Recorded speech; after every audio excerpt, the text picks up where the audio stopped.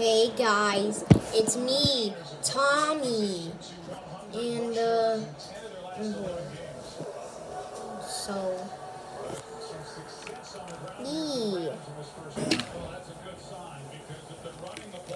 Anyways, yeah.